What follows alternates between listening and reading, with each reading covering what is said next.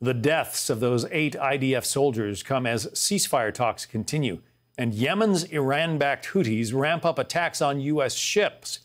Let's bring in retired General Jack Keane, Fox News senior strategic analyst, former, former Army Vice Chief of Staff, and chairman at the Institute for the Study of War.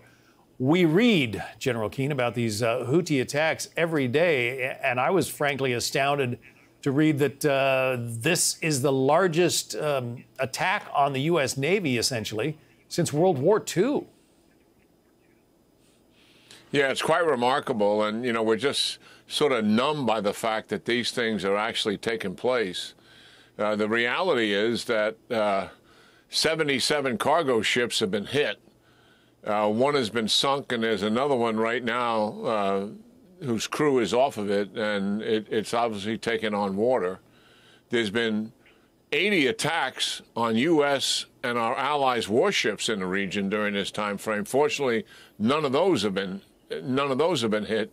We've had some real close calls, not the least of which was a ballistic missile that the Houthis fired at one of our destroyers that came within seconds of actually hitting the ship. It was defeated by a uh, air defense missile system on on that ship. So obviously this is dangerous.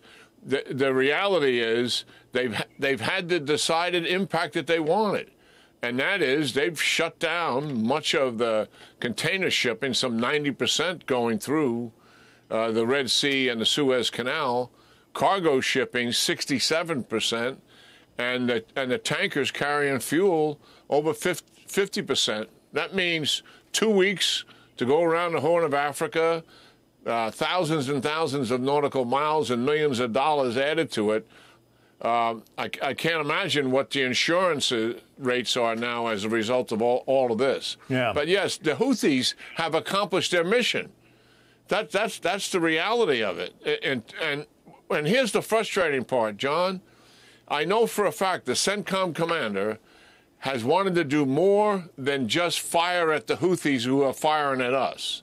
He wants to he wants to take a limited action against Iranians' conventional military capability in Iran, namely the IRGC forces, much as Reagan did. He's recommended over 100 targets uh, to the administration, and the fact is that None of those ha- have been accepted. Many of us looking at this, if you want to stop the Houthis, you have to you have to convince them Iran. You have to get deterrence back on the table, and they will shut them down. Yeah, because the, the Houthis used to you know ride around in pickup uh, pickup trucks shooting AK-47s. Now all of a sudden they've got drones and you know ICBMs of the, of the kind that uh, nearly nearly hit one of our ships, as you pointed out.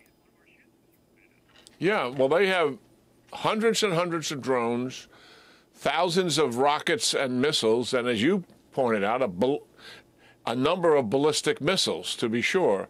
And look what they've done with Hezbollah. Hezbollah has somewhere between 130 and 150,000 rockets and missiles. Where do they come from? All of them come from Iran, just as all the rockets, missiles, and drones that the Houthis has.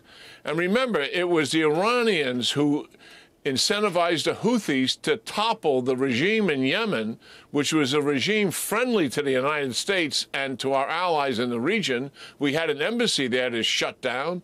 We had a special operations base that is shut down uh, as a result of all of that. So that's the Iranians behind all of this. They are the, the conductor of the orchestra, and we failed to confront them the way we should. Why is the administration seemingly afraid to take on Iran or to at least deal out some pain? The administration still is under the misguided view that if we talk to the Iranians and work diplomatically, we can achieve some kind of breakthrough. This has been going on for almost four years now.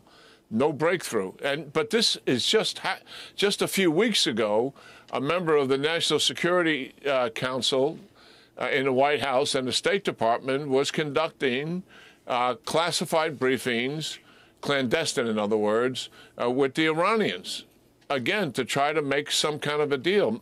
Most of observers who are looking at this know full well the only way to stop the Iranians from their malign behavior is you, you have to be willing to confront them, not talk to them the talking is worn out by now, and this administration, unfortunately, hasn't come to that conclusion.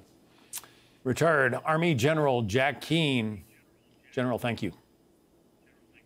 Yeah, great talking to you, John. Thank, Thank you. you. Hey, Sean Hannity here. Hey, click here to subscribe to Fox News YouTube page and catch our hottest interviews and most compelling analysis. You will not get it anywhere else.